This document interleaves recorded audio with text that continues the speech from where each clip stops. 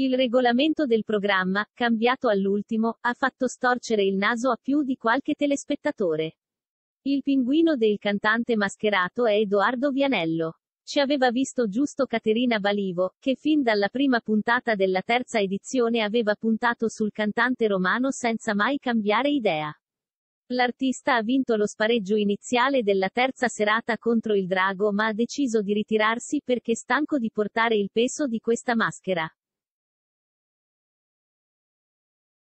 La decisione di Vianello 83 anni è stata annunciata da Milli Carlucci solo dopo la vittoria del Pinguino.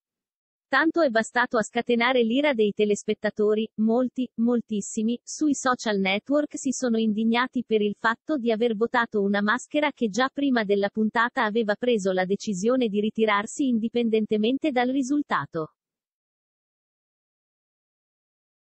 Edoardo aveva infatti confidato a Milli Carlucci la volontà di lasciare il cantante mascherato ma lo stesso gareggiato contro il drago. La Carlucci ha spiegato che la maschera del pinguino tornerà nella prossima puntata con un'altra identità ma questa scelta non è proprio piaciuta al pubblico. Parecchi hanno parlato di pongo regolamento la stessa giurata Arisa ha notato che le regole cambiano di volta in volta e c'è addirittura chi non ha capito il motivo per il quale Drago, che è stato il meno votato, non sia stato smascherato. Con Pinguino Edoardo Vianello salgono a 4 gli eliminati della terza edizione del Cantante Mascherato 2022. Fuori dai giochi Piur Gallina Fiordaliso, Aquila Alba Parietti, Cavalluccio Marino Cristina D'Avena.